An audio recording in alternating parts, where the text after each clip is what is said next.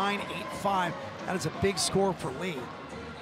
985, and that ties a career high for Lee. Wow. Chae Campbell absolutely puts on a clinic with that Yurchenko vault. Now she has gone a perfect 995, that start value for this vault. She's hit that three times.